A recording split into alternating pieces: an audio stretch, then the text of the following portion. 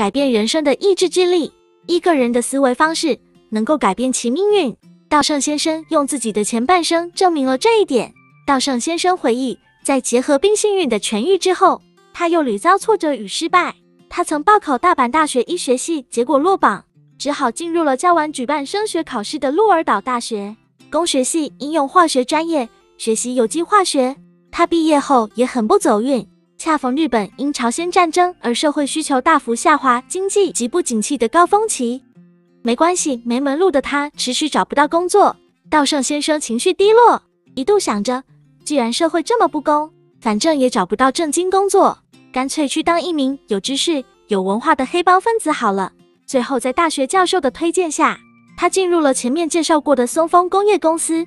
但是松风工业是一家做绝缘瓷瓶的厂商，那属于无机化学的领域，想要的是研究陶瓷的学生，所以稻盛先生。急忙找到无机化学的教授，学习了半年，写了一篇关于粘土研究的毕业论文。然而，他进入公司之后，才发现这家企业工资迟发是家常便饭，处于随时都可能倒闭的状态。一同进入公司的伙伴们相继辞职离开，最后只剩下他孤零零一个人进退维谷。这时，他的心态反而发生了一百八十度的大转变，发誓不再为自己倒霉的人生悲叹。而是全身心投入到眼前的工作中去，就像前面讲过的那样，稻盛先生干脆将锅碗瓢盆搬到研究室里，住在那里潜心做实验。这一心态的变化，如实地反映在他的工作上。他接连取得成果，公司内部对他的评价也变高了，得到了表扬。稻盛先生感受到工作的快乐，对工作越发热衷起来。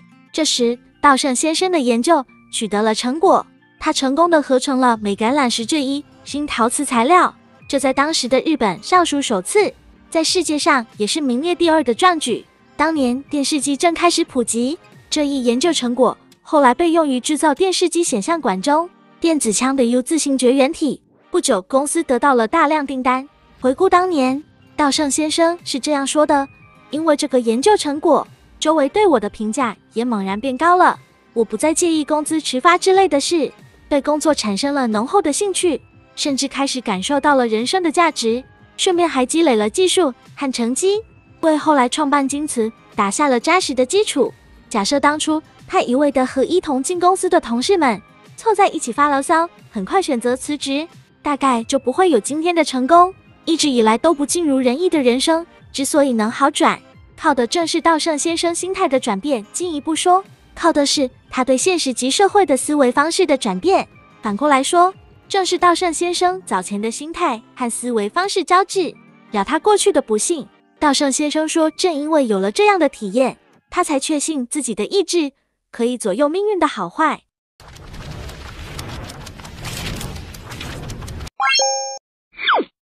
我们书友会希望用十五年时间带动一亿人读书，改变思维，思考致富，和一千个家庭共同实现财务自由。快来加入我们吧！